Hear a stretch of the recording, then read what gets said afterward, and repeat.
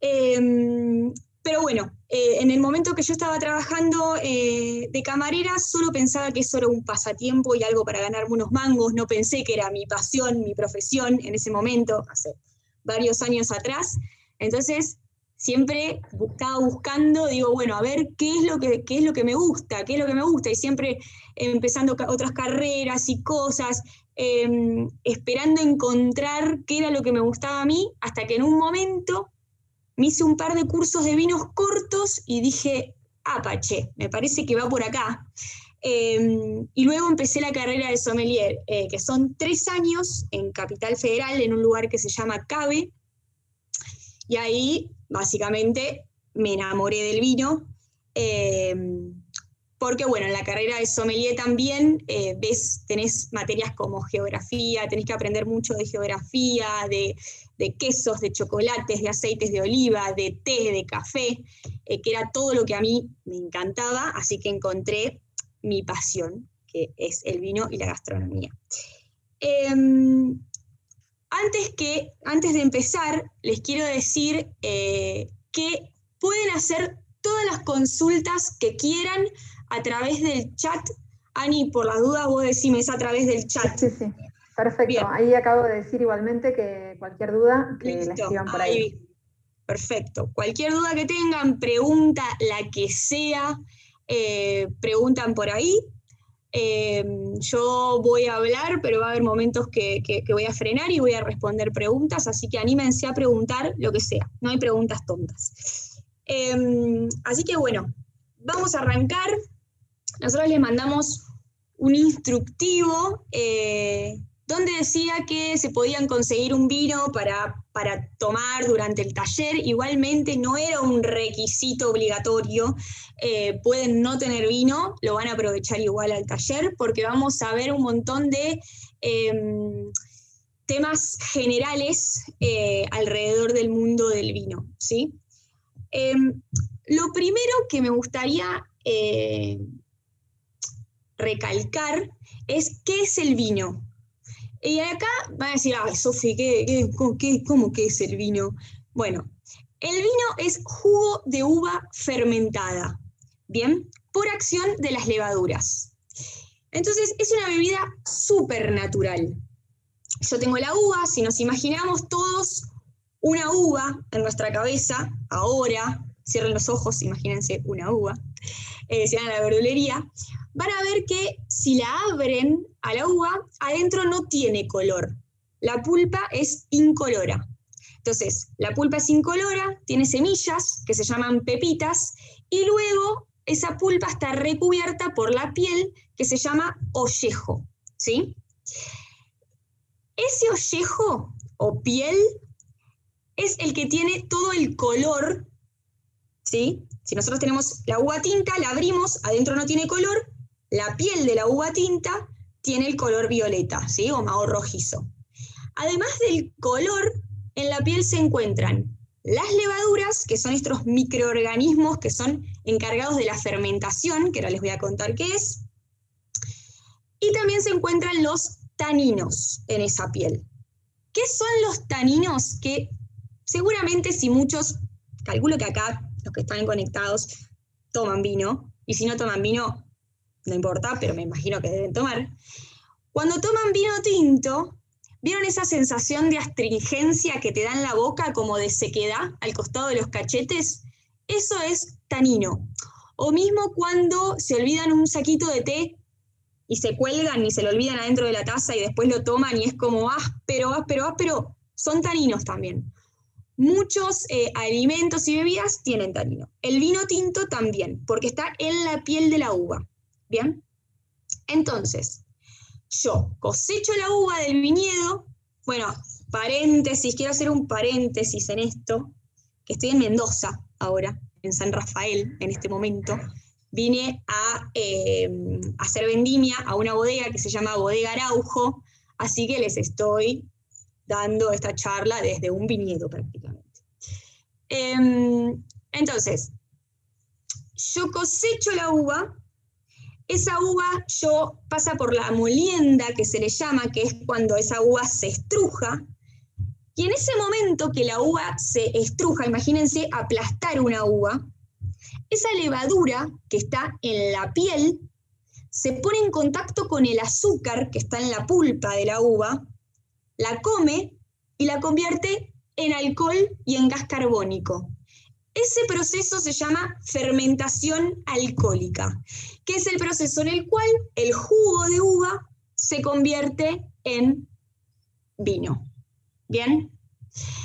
Y es un proceso súper natural. Bueno, lo mismo pasa con el pan y con todos los fermentos. ¿Bien? Entonces, las levaduras son súper importantes en el proceso de eh, hacer vino. Entonces, volviendo un poco, el vino es jugo de uva fermentado por acción de las levaduras. Punto. ¿Bien? Al vino, esto de hablar sola y que no me respondan, bueno, no importa. Ustedes si, van, si voy rápido me dicen, Sofía, vas rápido por el chat, yo los leo. Em, el vino, ¿sí? No se le agrega alcohol. El alcohol que tiene el vino es propio de la fermentación alcohólica. Entonces, cuando esta levadura se termina de comer todo el azúcar que tiene la uva, esa levadura muere y ya tenemos el vino seco. ¿Bien? Entonces, eso básicamente para empezar de las bases de qué es el vino. Luego tenemos eh, diferentes tipos de vino, ¿bien? Tenemos vinos espumosos, que son los vinos que tienen burbujas, tenemos vinos blancos, vinos tintos, vinos rosados, vinos naranjas y vinos dulces. ¿Bien? Em, ¿Alguien tiene alguna pregunta hasta acá de qué es el vino de elaboración? Si quieren, la pueden hacer. En cualquier momento pueden hacer preguntas. Em, los vinos espumosos son los vinos con burbujas, que no, en Argentina no le llamamos champagne, ¿bien? Ya teníamos esa costumbre de llamarle champagne, de hecho a veces hasta a mí se me escapa, y yo capaz que ustedes también dicen champagne, pero ¿por qué no le llamamos champagne y sí le llamamos vino espumoso o vino espumante? Porque champagne es una denominación de origen en Francia. ¿Qué es una denominación de origen? Es una zona delimitada, ¿bien? Que ahí solamente se puede hacer este vino porque hay un suelo específico, un clima específico y un método de elaboración específico que solamente lo puedo hacer en la zona de Champagne al norte de Francia. Yo acá en la Argentina puedo hacer exactamente lo mismo que en Champagne, con las mismas uvas, el mismo método, absolutamente todo, pero en mi etiqueta no le puedo poner Champagne, ¿sí? Le tengo que poner vino espumoso o espumante. Y esto acá parece una pavada, pero lo digo, el vino espumoso es vino, ¿bien? Porque a mí muchas veces me pasaba, trabajando en restaurantes en, Buenos Aires, de que por ahí iba a, recomendarles un vino o demás a, los clientes y me decían, no, no, no, querida, hoy vamos a tomar champán, no vamos a tomar vino. Pero es vino, ¿sí? La única diferencia que tiene con el vino sin burbujas, primero que el vino sin burbujas, este, bien, los vinos, se llaman vinos tranquilos, que son los vinos sin burbujas. Y luego, o sea, el mundo se divide en vino, tranquilo y vino espumoso, ¿bien? Los vinos tranquilos tienen una sola fermentación, que es la fermentación alcohólica, que es la que yo les conté al principio, donde la levadura se come el alcohol y la convierte en azúcar y chau, ya tengo vino. Luego los vinos espumosos, a diferencia del tranquilo, tienen dos fermentaciones. La primera, que es la fermentación alcohólica, donde yo obtengo mi vino, y luego una segunda, que es por la cual el vino va a obtener la burbuja. Bien, entonces, en la primera fermentación yo tengo mi vino tranquilo. Bien, a ese vino tranquilo, ¿cómo hago para meterle la burbuja? ¿Le inyecto gas? No, no lo gasifico artificialmente, sino que lo que hago es agregarle nuevamente a esa botella o a ese tanque, depende del método que sea, azúcar y levadura. Entonces la levadura de repente se encuentra de nuevo que tiene comida, empieza a comer y genera gas. Pero ese gas, al contrario de la fermentación alcohólica que se hace en tanques abiertos donde el gas se va porque no lo quiero, lo hago en un lugar, en un tanque o en una botella cerrada. Entonces ese gas se va a contener y va a ser la burbuja del espumoso. ¿Bien? Entonces tenemos los vinos espumosos, luego tenemos los vinos blancos, que los vinos blancos en su mayoría se hace con uva blanca, ¿bien? Existen dos tipos de uva, blanca y tinta. Existen rosadas, pero no se usan casi para hacer vino. Entonces, vino blanco se hace con uva blanca. Pero yo les dije al principio de todo que el color de la uva, ¿dónde estaba? El color que le da al vino, ¿dónde estaba? En la piel, que la pulpa era incolora. Entonces, les pregunto y me respondo, porque no me, no me está, no tienen cámara, o me pueden responder por el chat. ¿Puedo hacer vino blanco con uva tinta? Sí, puedo hacer vino blanco con uva tinta. Puedo hacer vino blanco con uva tinta porque si yo cosecho la uva, bien, yo cosecho la uva y antes de que arranque a fermentar le saco la piel, me quedo con la pulpa que es incolora ¿bien? Y sigo haciendo el vino con la pulpa. Entonces, yo puedo llegar a encontrar un vino blanco de Malbec. Lo puedo encontrar. ¿Es raro? Sí, es raro, porque el Malbec blanco no tiene gracia. Generalmente las uvas tintas para hacer vinos blancos son como insulsas. Entonces, por eso, generalmente y casi siempre se usan uvas blancas para vinos blancos, uvas tintas, obviamente, para vinos tintos, porque si no el color, ¿de dónde lo saco? No tengo color. Entonces, eh, uva tinta para vino tinto, uva blanca o tinta para vino blanco. ¿Y cómo se hacen los vinos naranjas que les comenté al principio? Los vinos naranjas se hacen con uva blanca, pero al contrario del vino blanco que se hace sin la piel, se hace en contacto con la piel el vino naranja. ¿Bien? Se hace con uva blanca en contacto con la piel todo el tiempo. Entonces, al tener el jugo de uva contacto con la piel, va tomando ese color medio anaranjado y hace que después sea vino naranja. A ver, no sé si tomaron alguna vez un vino naranja, ahora están muy de moda también los vinos naranjas, es como cool tomar un naranjo, también se le dice naranjo. Em, y son los primeros vinos de la historia, los vinos naranjas, que eh, comenzaron en Georgia em, y luego ahora hay todo un boom de los vinos naranjos y se están haciendo mucho. Entonces, son vinos blancos, pero que eh, al contrario de, de, un vino blanco tradicional, tienen tanino, que es esta sensación de astringencia, justamente porque está hecho con la piel de la uva. ¿Bien? Luego, eh, tienen los vinos rosados. Los vinos rosados, hay algo que mucha gente piensa, que piensa que los vinos rosados son de baja calidad o que son siempre baratos o lo que sea. Y eso es mentira totalmente, totalmente erróneo, porque hay vinos rosados muy, muy buenos y además se hacen de manera también muy seria. O sea, ¿cómo hago un vino rosado? La forma que más se utiliza para hacer un vino rosado es yo cosecho la uva tinta, sea cual sea, Malbec, Cabernet, Cabernet Franc, Cabernet Sauvignon, Merlot, la que sea. Y lo que hago es dejar eh, la piel de la uva solamente un ratito en contacto con el jugo. Y luego prenso y la separo del jugo. No la dejo todo el tiempo a la piel, porque si yo la dejo todo el tiempo, ya hago un tinto. ¿Bien? Porque el jugo se tiñe mucho. Entonces, los vinos rosados se hacen con uva tinta con breve contacto con sus pieles. ¿Bien? Además, los vinos rosados, algo muy positivo, es que son súper versátiles para maridar. Maridar o maridaje es la combinación de un vino o de una bebida con una comida, eh, donde ambas partes al juntarse generan algo mejor. Bien, maridaje significa matrimonio. Pero yo, déjenme dudar, los matrimonios tampoco que sacan lo mejor de uno, bueno, no me voy a meter en ese tema. Pero significa eso, porque bueno, se pensaba que cuando hacía matrimonio salía algo mejor. Em, pero es básicamente son acuerdos entre comida y bebida, en el cual cuando vos comes junto esas dos cosas y tomás, em, se genera algo copado.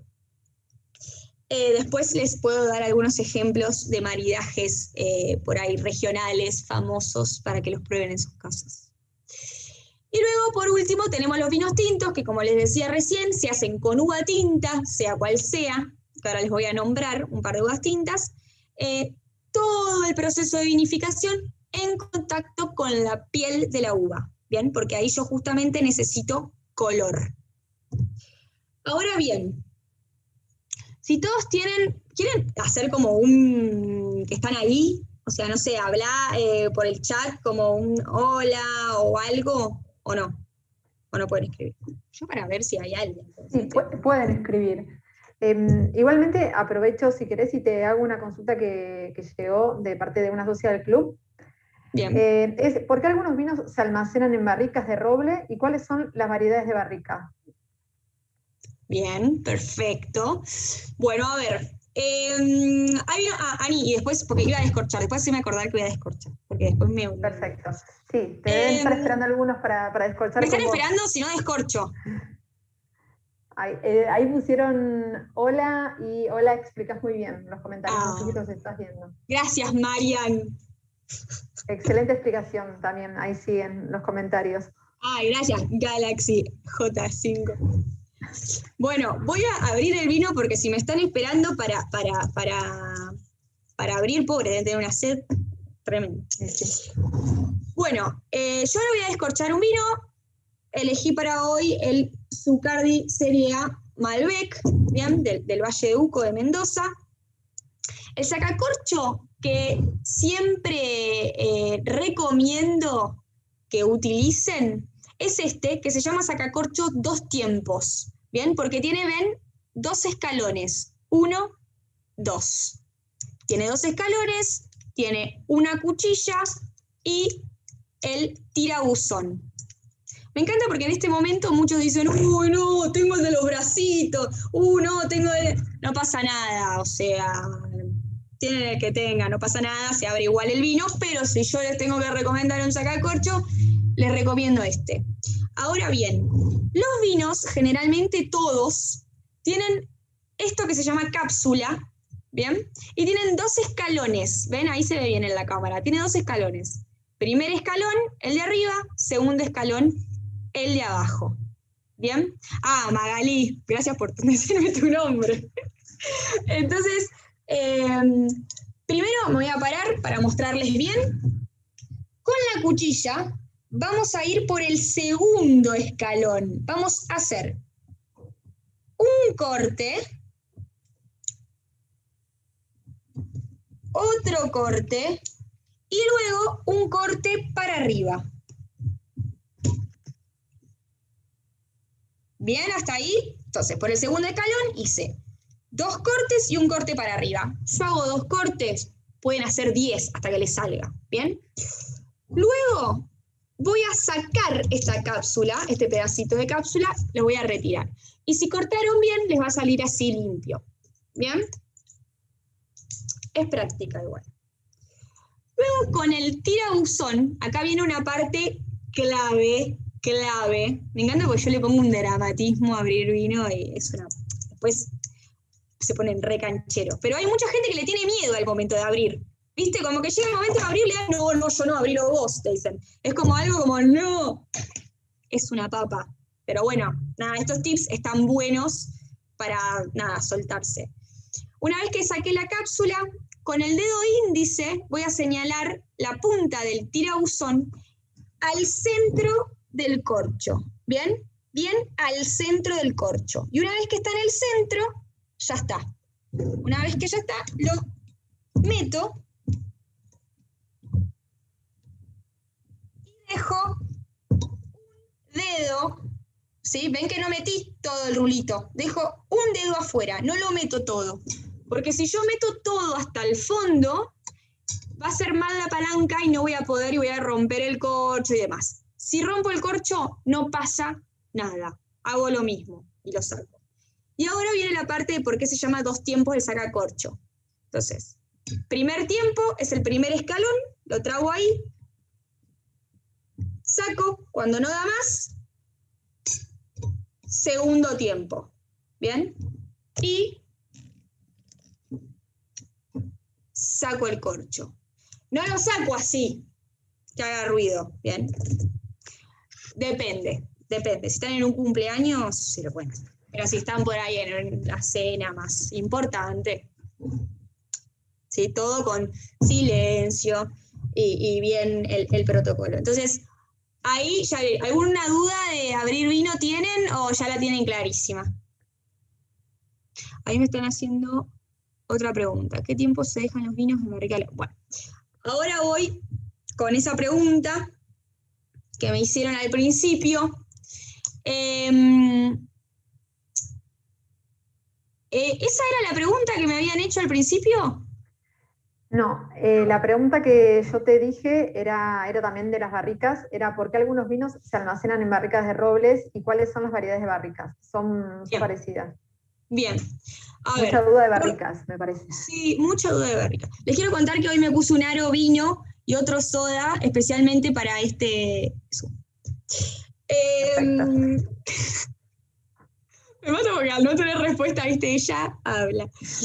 Em, entonces, ¿Por qué algunos vinos se almacenan en barrica? Primero la barrica, si alguno no sabe, es donde vive el chavo, ¿bien? Son esos barrilitos de roble que tienen algunos 225 litros, otros 228, depende el origen de esa barrica.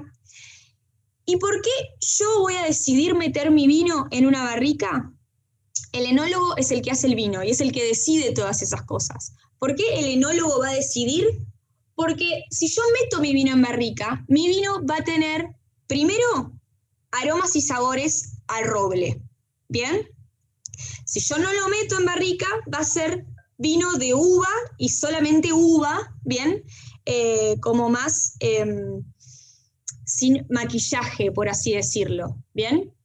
Em, en cambio, la barrica al vino le aporta aromas y sabores característicos del roble. Ahora bien, ese roble depende de dónde sea y depende cuántos usos haya tenido, es lo que le va a aportar al vino. Bien.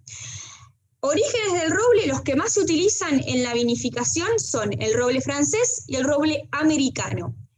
Dentro de Francia hay muchísimos bosques de roble, que no es lo mismo un bosque del norte de Francia que uno del sur, eh, o un bosque de Portugal, o un bosque, o sea,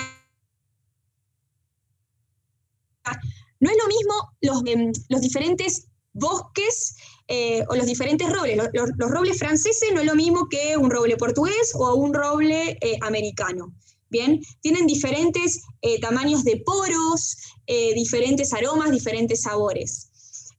Ahora se está estudiando mucho el tema de las diferencias entre los, em, entre los aromas y sabores de cada roble. Bien, pero a grandes rasgos nosotros acá en Argentina y en el mundo los robles más utilizados son el americano y el francés. Bien, sobre todo roble francés más que americano.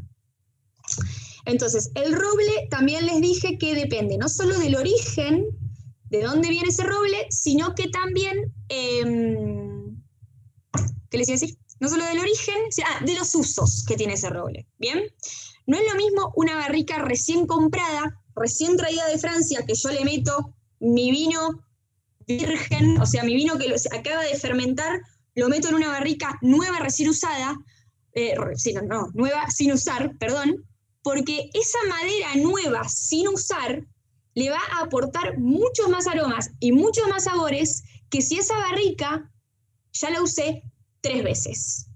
¿Bien? Además de aportarles aromas y sabores, también el roble, estar en barrica, le aporta una microoxigenación, ¿bien? Porque esa madera tiene poros. Y además de tener poros esa madera, si alguna vez alguno de ustedes vio una barrica a vivo, eh, van a ver que la barrica son todas duelas de roble una al lado de la otra, que tienen unas eh, juntas, ¿bien? Se dice que ese, oxígeno que pasa muy, muy poco, se filtra en esas juntas y también se filtra en el tapón que tienen las barricas arriba. Esa filtración de oxígeno, que es muy poca, pero es, es positiva para el vino. Porque además esa filtración de oxígeno, que se llama microoxigenación, va a ayudar al vino a perdurar más en el tiempo. Entonces, con esto les digo que generalmente los vinos que tienen paso por barrica de roble son los vinos que más voy a poder guardar o aguantar en el tiempo. Bien. El vino tiene muchas variables. O sea, yo digo esto, pero no es una verdad, no es absoluto. Porque después también tenés vinos criados en huevos de concreto, que se utiliza mucho también ahora, que no le aporta, no le aporta aroma, ni sabor, ni microoxigenación, pero sin embargo también tenemos vinos de guarda con crianza en huevos de concreto.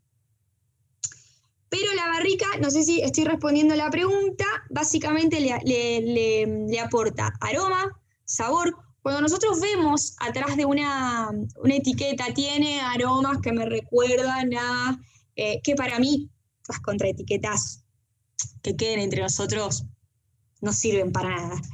O sea, sirve más la información que hay en la etiqueta frontal y alguna que otra información que está atrás como el alcohol o algo más específico que la zaraza que dice este vino me hace recordar a la eh, ciruela del campo de mi abuela. O sea, eso no, no, no, no confíen siempre 100% en lo que dice la contraetiqueta, ¿sí? Em, entonces, les estaba explicando de la barrica. ¿Qué les estaba diciendo de la barrica? Bueno, no. Y ahora esto es otra cosa. Si tiene barrica nueva, ese vino, si pasó por barrica nueva, claramente lo va a especificar en la etiqueta. Va a decir, este vino tiene contacto con barrica nueva de roble francés o barrica de roble francés. ¿Bien? Lo va a decir sí o sí, porque una barrica sale nueva, sale mil euros, para que se den una idea. Entonces yo, enóloga o dueña de bodega, si me compro una barrica y se la pongo a mi vino, digo, pónganle gigante que estuvo en barrica porque me salió carísimo. Entonces, y porque además ese vino te va a salir más caro a vos, porque estuvo tiempo en una barrica y el tiempo es plata, y además en una barrica que sale mil euros. Entonces, todos los vinos que digan tuvieron contacto o paso por barrica de roble francés van a ser más costosos, por lógica. Ahora, hay una engaña pichanga acá, que es que eh, a veces los vinos dicen, por ejemplo, Malbec roble, y nosotros ya flasheamos barrica y no. Si dice solamente roble, o si dice contacto con roble o paso con roble, ahí en ningún lado te está diciendo barrica. Yo les dije que si tiene barrica les va a decir la palabra barrica. Si dice roble, es porque ese vino tuvo contacto con roble y hay alternativas más económicas para agregarle aroma y sabor a roble a un vino. ¿Qué es qué? Yo tengo mi tanque de acero inoxidable de 20.000 litros, por ejemplo, son tanques gigantes donde yo fermento el vino. Una vez que mi vino, pongámosle que es un Malbec, fermentó, yo ya tengo mi vino, listo, yo le quiero poner roble, pero me sale muy cara la barrica y además yo quiero que este vino sea un vino entrada de gama, sea un vino joven para consumir en el año, livianito, pero quiero que tenga algo de roble porque a la gente le gusta el roble y demás. Entonces, ¿qué hago? Porque no lo puedo meter una barrica. Le pongo duelas de roble adentro del tanque de acero inoxidable. Son como unos listones de roble que los meto adentro del vino, los dejo un determinado tiempo y eso le da aroma y sabor a roble. ¿Bien? Entonces es una manera de sacar un vino más económico con este aroma y sabor que a tantos les gusta. Otra alternativa es meterle a ese tanque de acero inoxidable chips de roble, que son como virutas, que las meto tipo como un saquito de té y luego las saco y también le da ese aroma y sabor a roble. Y ahora dicen, ¿y ¿por qué? Entonces me voy a comprar un vino tan caro que tenga aroma y sabor a roble, que estuvo en paso por barrica, y, si no me compro el que me sale 200 pesos y tiene sabor a roble. Bueno, está bien, pero hay una diferencia que yo se las expliqué antes, que es que la barrica también lo que le aporta al vino es la microoxigenación, que es mega importante. Te diría que es más importante que el aroma y sabor a roble, porque aroma y sabor a roble es como, es más importante, porque esto le va a dar al vino redondez y le va a dar potencia y le va a dar em, fuerza para vivir. La que les acabo de tirar. Estoy poeta hoy. Entonces, em, el chip o la duela, no, va a ser algo que le da sabor, aroma y ¡pum! al mercado, rapidito. Y tómatelo rápido, porque ese vino no va a aguantar más en el tiempo. ¿Es peor? No. Es distinto. Es un vino que está pensado desde su concepción para que sea un vino joven, que lo tomes ese año. ¿Y cómo te vas a dar cuenta de eso? Además de que en la etiqueta te va a decir roble, no te va a decir barrica, porque te va a salir más barato. ¿Sí? En el precio también es, el precio es una manera también de darnos cuenta cuando un vino lo puedo guardar más y menos. Igual que tema la guarda de un vino. Yo no soy muy fan de hablar de la guarda de un vino, porque uno nunca sabe qué le va a pasar mañana. Hoy estoy. Porque uno nunca sabe lo que le va a pasar mañana, porque yo, por ejemplo, no guardo los vinos. Tengo solamente una botella, una botella muy especial que la tengo guardada, pero todos los días como que le tengo ganas, porque digo, ay, ya veo que no sé me la sacan o me la roba mi papá, ¿viste? Mi papá cuando viene a mi departamento es como que ya me encontró el escondite donde pongo los vinos y no, no le importa si es local, no le importa nada, él me lo saca, se piensa que son suyos también. Em, así que bueno, los vinos de guarda también les aconsejo que piensen si tienen guardado algún vino. A ver, ¿qué otra pregunta? Una vez envasado la etiqueta, ¿dice el tipo de roble que tiene? Algunos sí, otros no no es necesario, no es obligación que diga roble francés, roble americano. No es obligación. Hola, soy Lili, de las Grutas. ¡Qué lindo! Excelente explicación. Muchas gracias, Lili. Muchas gracias. Bueno, eh, si tienen alguna otra duda, Ani, si te hicieron alguna duda, alguna pregunta a vos. Eh, sí, justo que me, estabas hablando de que los vinos no se guardan, eh, hay una consulta que es: ¿qué vinos se añejan? ¿Qué vinos mejoran con el paso del tiempo? ¿Eso es realmente así? ¿Es un mito? ¿Es realmente así? ¿O vos nunca le das el tiempo para saber si, mejoran o no? Em, a ver, no todos los vinos mejoran con el tiempo, como las personas. No, no todos los vinos mejoran con el tiempo. Eh, hay vinos que, como les decía antes, em, están pensados para, ser jóvenes y, y, morir jóvenes, qué feo lo que estoy diciendo, pero están pensados para que sean jóvenes o sea que de repente nacen y, tienen una corta vida buena y directamente mueren, no evolucionan. Hay otros vinos que nacen y están todavía medios verdes porque necesitan un poco más de evolución, de madurez. Y se ponen mejor con el tiempo. Pero no todos los vinos se ponen mejor con el tiempo y hay un montón de indicadores que a vos te hacen saber si es un vino que se va a poner mejor o que no. Uno, muy fácil, es el precio como les decía antes. Pero si un vino a mí me sale menos de 500 mangos, igualmente ahora en Argentina es muy difícil también el tema de los precios porque todo está como caro, entonces no sabe bien. Pero menos de 500 pesos o de 600 no es un vino para que lo guarden, es un vino para que lo tomen ese año, máximo al año siguiente. Bien, es un vino que su plenitud es hoy.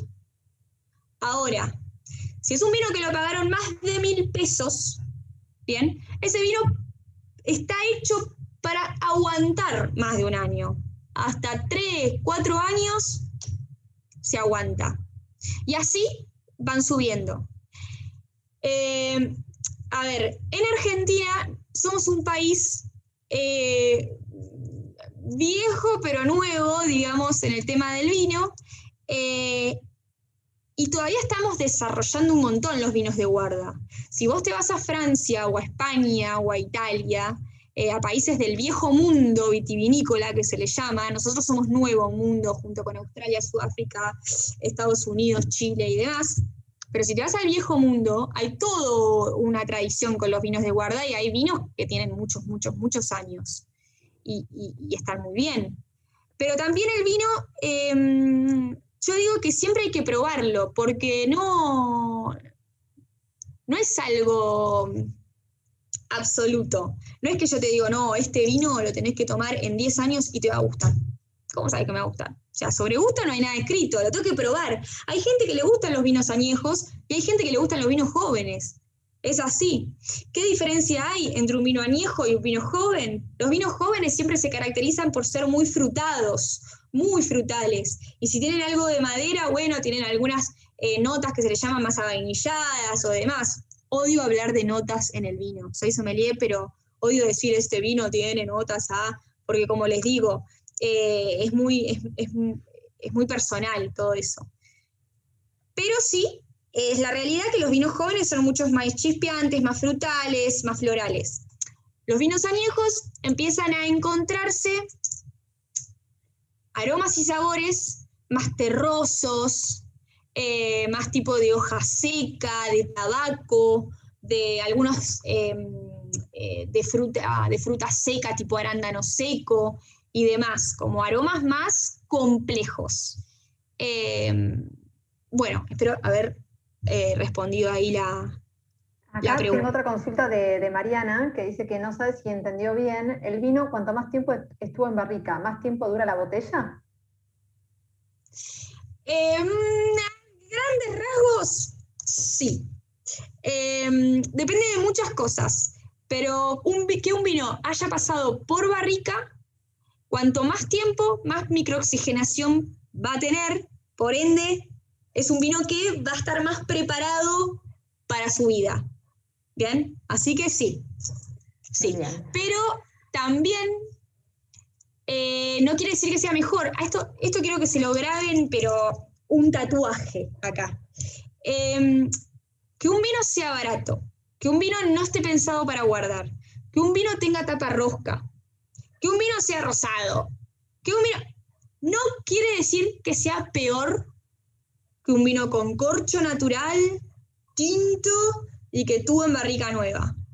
No, son distintos. Es lo mismo que un nene de 5 años juegue en la categoría, juega al fútbol con uno de categoría 40. No. O sea, de 40 años. No entiendo nada de fútbol, pero pongo este ejemplo porque no es compatible. O sea, obviamente el de 40 le va a ganar. Entonces, cada uno en su categoría. ¿sí? Si tengo que competir, me compro otro. Si quiero ver cuál es más rico, cuál es mejor, me compro otro vino de la misma gama de precios. ¿Bien? Y así eh, se van a dar cuenta. Después acá que me dice, ¿es importante el tipo de copa según la uva? Me pregunta Andrea.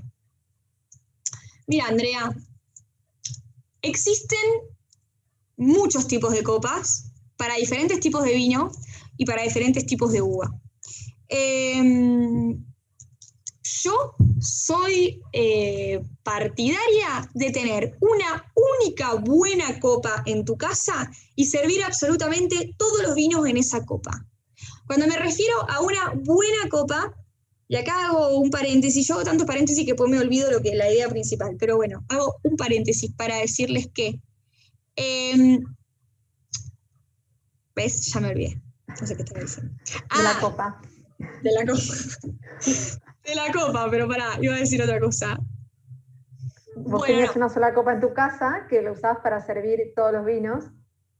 Y paréntesis, nos quedamos en el paréntesis. ¿Ves? No tengo que hacer más paréntesis. No, vuelvo a la idea principal. Ya me voy a acordar, yo me voy a acordar.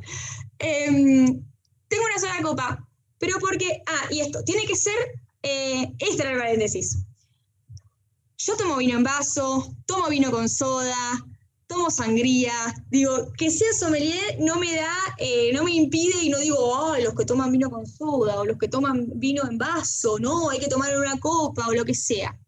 No, cada uno toma el vino donde quiere, ¿sí? Donde quiere, donde le gusta, si le gusta el vino con hielo, que toma vino con hielo, da igual. Mientras tomen vino, para mí está perfecto. Cada uno encuentra su manera de tomar vino, encuentra lo que le gusta y dale para adelante.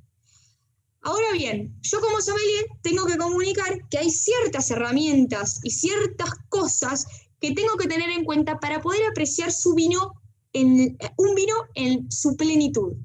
¿Sí?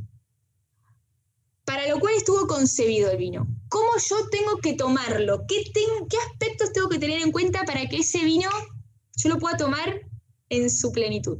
Entonces, una de las cuestiones, cierro paréntesis, vuelvo a la idea principal, una de las cuestiones importantes es la copa.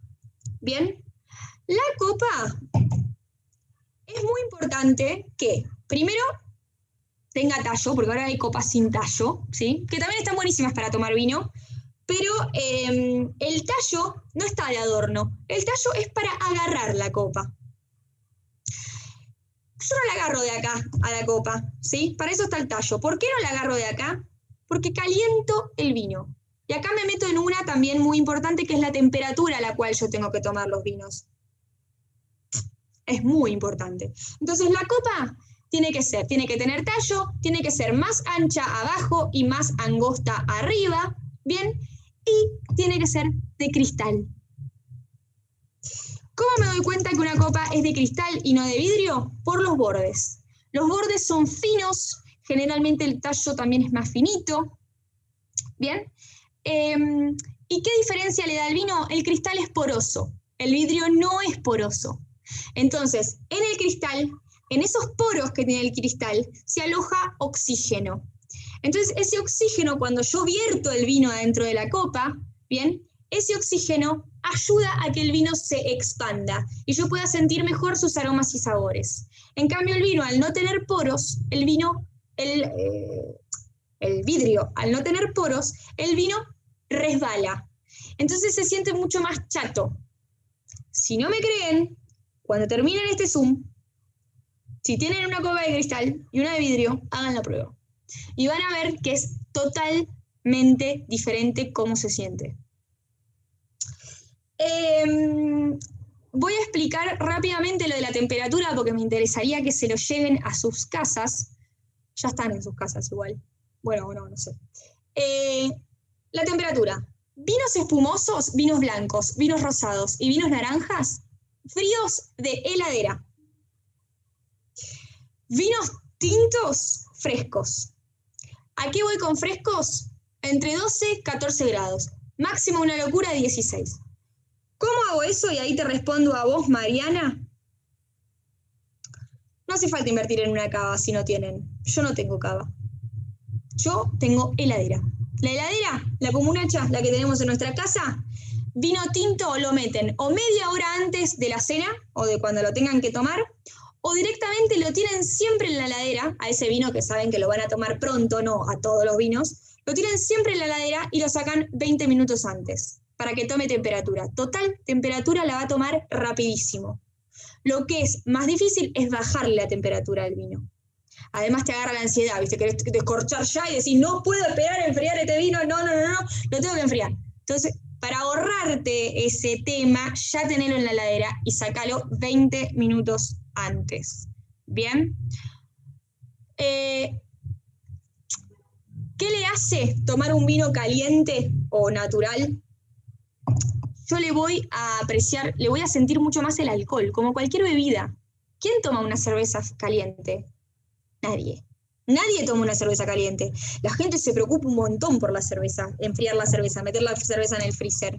Es como, bueno, ¿quién compra la cerveza? Bueno, pero acordate de ponerla en el freezer. Está fría la cerveza. Alrededor de la cerveza y el frío están todos reconscientes, ¿viste? Como la cerveza la recuidan, la ponen.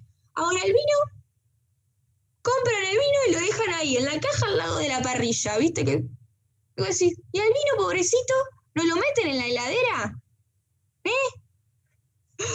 Hay que meterlo en la heladera, hay que preocuparse también por el vino. Lo compro, lo meto en la heladera y van a ver que van a empezar a disfrutar de otra manera el vino.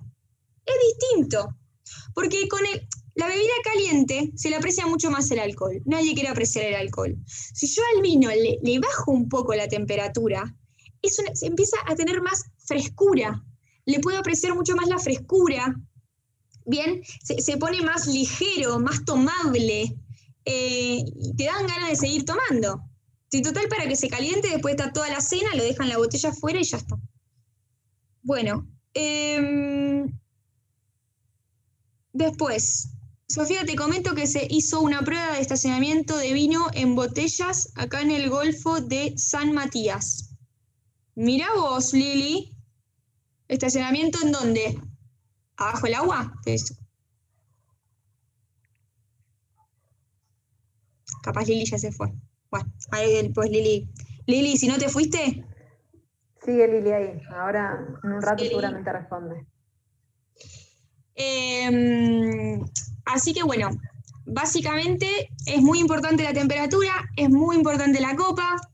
Si tienen un sacacorchos de dos tiempos, perfecto, y ya pueden vivir en paz con el vino. No hace falta tener cava, no hace falta tener la bomba de oxígeno, no hace falta eh, tener eh, el sacacorchos ultra mega ese que es automático, ni todos los chiches. A ver, si los quieren tener, ténganlos, pero me parece que es algo también que eh, son chiches que tampoco suman a que yo me puedo tomar un buen vino todo teniendo estas tres cosas que les digo la copa es muy importante. Así que si no, antes de invertir en una cava, se invierten en una copa y listo. Recomiendo una marca que se llama Wolf, que es la que uso yo en mi bar de vinos. De paso, paso el chivo. Tengo un bar de vinos en San Telmo, en Capital Federal, así que ya sé que son todos de la Patagonia, pero sí, en algún momento se viene para Capital, se viene a San Telmo, se llama Vina, así que me vienen a visitar. Y ahí tengo estas copas eh, que son de marca Wolf, que es un cristal alemán, además súper, súper resistente. A mí se me cayó una copa, o sea, se me cayó y no se rompió, con decirles eso. Em, ¿Qué más? ¿Qué más? ¿Qué más? ¿Qué más? ¿Alguna otra? ¿Qué dice? ¿Hay cierto? ¿Qué hay de cierto? Ah, espera, espera. Si no me tomé toda la botella, ¿cómo guardo eh, lo que me sobró? Buena pregunta. Con el mismo corcho en la heladera. El frío es conservante. Si no, fíjense Walt Disney, que todavía sigue vivo, en un freezer. Entonces, el frío es conservante. Lo tapo con el mismo corcho, ¿bien? Bien tapado y lo meto en la heladera. No lo dejo al lado del horno, lo mismo que les digo, ¿sí? En la heladera, el frío conserva. ¿Cuánto te va a durar ese vino? Una semana, más o menos, ¿bien? Obviamente no va a ser el mismo sabor al día 2 que al día 7. Pero te digo, una semana está digno. Al día 7 te digo que está casi ahí, rozando lo polémico, pero lo puedes tomar. No hace mal, no te intoxica un vino viejo, eh, oxidado, que le haya entrado oxígeno, no te hace mal, solo que empieza a perder el sabor y empieza a ganar eh, acidez, se pica. ¿Bien? Eh, ¿Qué hay de cierto de que el vino se estresa? sí. A ver, esto lo dicen mucho los vitivinicultores, los cenólogos, la gente que está todo el tiempo ahí con el vino en, la bodega, que probó mucho el vino en la bodega y lo probó fuera de su hábitat. Lo mismo doy fe que el vino es mucho más rico cuando lo estás tomando ahí, en la bodega, y te lo dan de probar, que si yo me lo compro, me lo compro en la vinoteca y me lo tomo en mi casa. Eh, doy fe, por lo menos eso a mí me pasa. ¿Y qué es lo que sucede? Lo sacas de su ecosistema, lo sacas de su hábitat. Entonces se dice que el vino se estresa o cuando viaja mucho, por ejemplo, cuando hay ferias lejos, que el vino tiene que viajar, eh, generalmente lo mandan mucho tiempo antes, cosa de que luego del viaje tenga tiempo de estabilizarse eh, que se le vaya el jet lag al vino y vuelva a ser él. Eh, pero sí, se dice que sí. Ah, Lili, sí, en el mar, a determinados metros de profundidad, la degustación era para Semana Santa, pero no pudo hacer por COVID. Y el vino se fue. Sí, muy bueno. Sí, sé de unos conocidos que también, eh, de bodega tapiz, que también hicieron eso, que tienen vinos guardados al fondo del mar. Una locura una locura totalmente. Em, tengo, perdón, tengo otra pregunta. Eh, si hay que dejar oxigenar el vino, descorcharlo antes y dejarlo abierto, o no es necesario. Mm, Eso em, les voy a explicar por qué. Si yo descorcho el vino, el vino está lleno por acá. Fíjense que la cantidad de oxígeno que le entra es casi nula. O sea, fíjense la cantidad de líquido que hay y el agujerito chiquito para que entre el oxígeno. O sea, es esto de oxígeno nomás. Es casi nulo el oxígeno que entra y, va a tardar bocha en oxigenar todo este vino. Entonces, abrir el vino media hora antes y dejarlo en la misma botella abierto, no sirve nada, a no ser que lo dejes dos días. Ahora, si vos querés que ese vino se oxigene, que no todos los vinos le hace bien un shock de oxígeno, no a todos los vinos, pero bueno, si ponele que es un vino que tiene sus años y hay que abrirlo para que eh, respire y entre en contacto con el oxígeno y demás, lo que puedo hacer es o trasvasarlo a un decantador, los decantadores son las jarritas, o lo que hago yo, me sirvo poco en la copa, poco, así como tengo servido yo, lo giro, así como estoy girando yo. Y ahí, ¿qué estoy haciendo? El oxígeno está entrando en la copa, ¿bien? Y está ayudando a todas las partículas de eh, aromáticas a expandirse. Las está rompiendo y las está expandiendo. Bien, las partículas de aroma son volátiles. Es lo mismo que un perfume.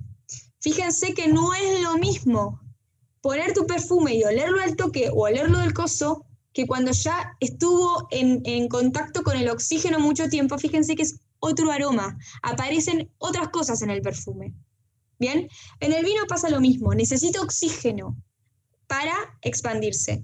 Pero si les puedo dar un consejo, eh, poquito en la copa y girar la copa. Girar la copa es justamente para que le entre oxígeno al vino, no es de canchera.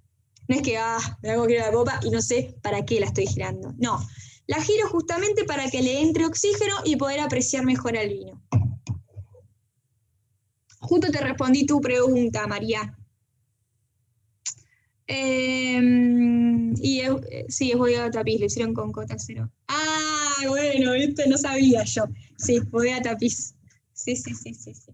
Exacto, exacto. Em, así que bueno, respondí sus preguntas. ¿Hay alguna otra pregunta, Ani? Eh, sí, te hago otra consulta que es, ¿qué es lo primero que me tengo que fijar a la hora de comprar un vino? Bueno, es muy amplia, pero primero, ¿qué nos gusta a nosotros, no? Porque también eh, va por ahí. Pero luego, Lean la etiqueta. En la etiqueta está lo más importante que tengo que saber para comprar un vino. ¿Qué es lo más importante? Primero me va a decir la variedad. Hay vinos varietales que se le llaman, que están hechos de una variedad, como por ejemplo Malbec, Cabernet Sauvignon. Cuando la etiqueta te dice Malbec, Cabernet Sauvignon, esos se llaman vinos varietales. Y después hay vinos que son blends o vinos de corte. Esos vinos es que quiere decir que están hechos de más de una variedad. Bien, puede tener Malbec, Cabernet Sauvignon y Cabernet Franc. No sé, depende. ¿Es uno mejor que otro? No, tampoco. Son diferentes.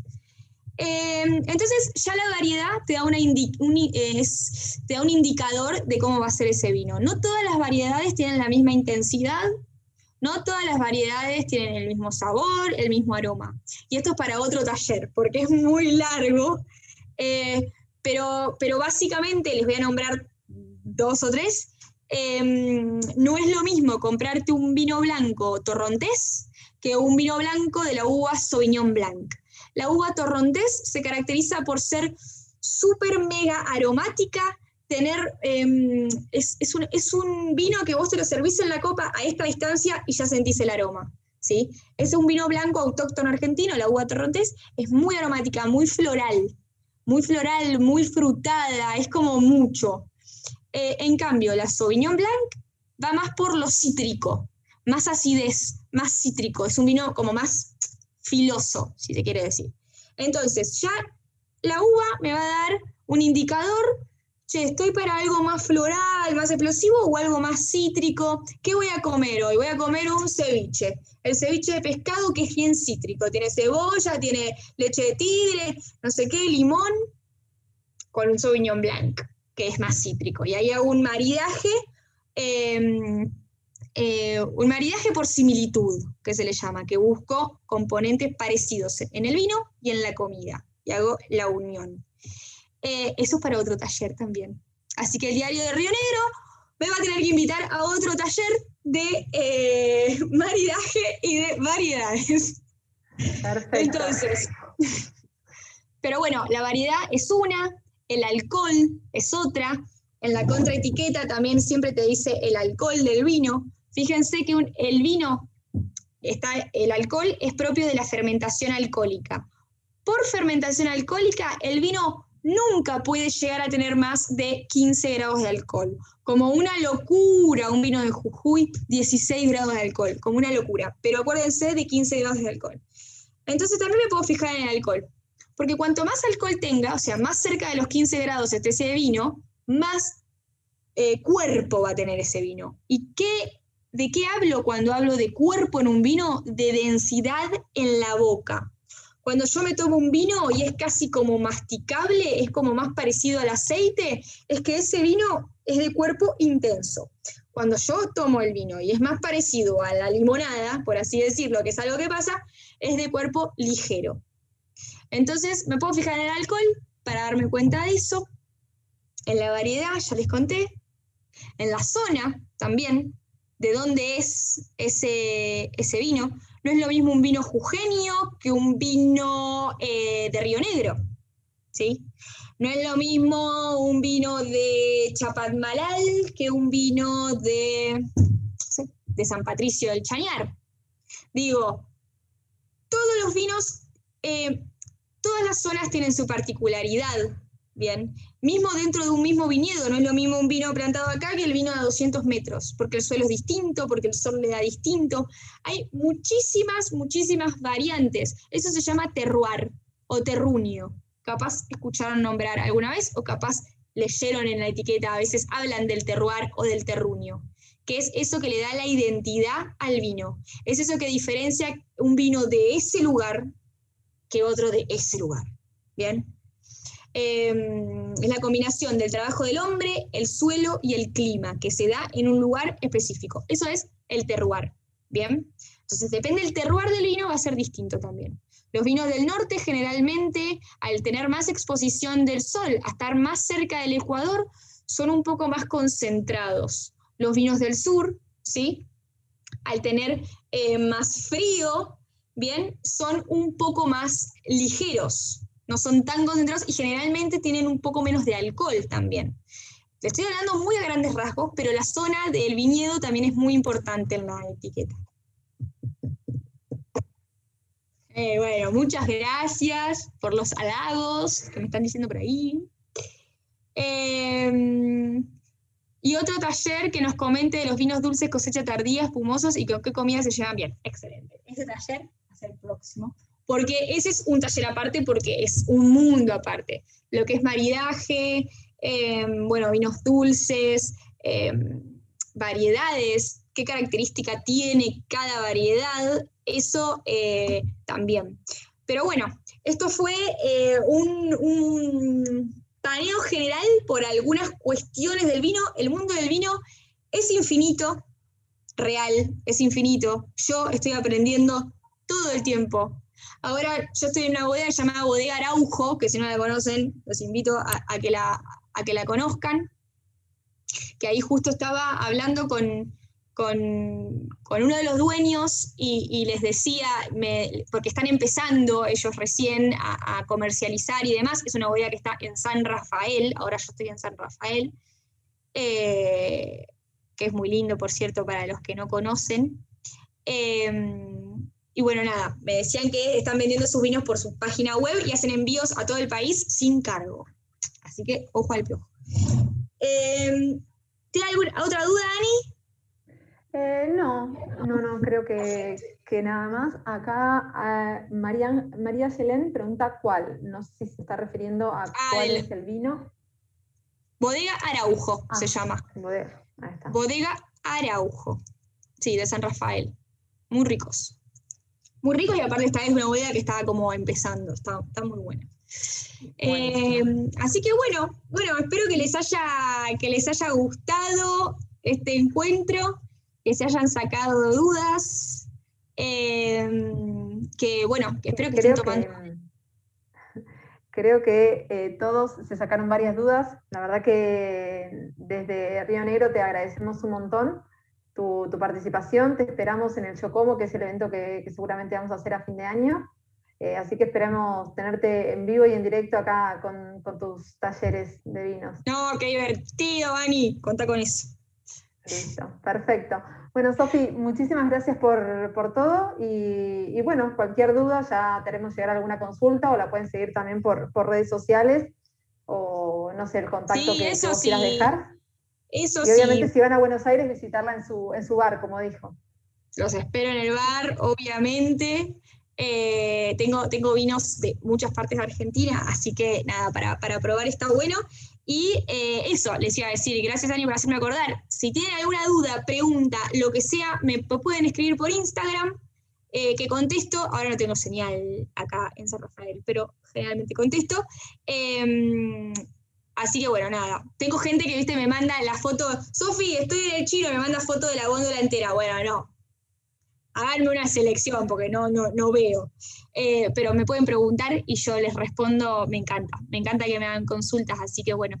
Bueno, muchas gracias también a Ani eh, y al radio, al radio cualquiera, y al diario de Río Negro por esta invitación, me encantó además hacer este taller de acá de, San Rafael, también de la de Tierra del Vino, eh, me pareció súper copado, así que muchísimas gracias y bueno, quedamos para la próxima. Bueno, muchísimas gracias a vos y muchísimas gracias a, todos los que participaron. Nos vemos en, en el próximo encuentro. Chau, chau.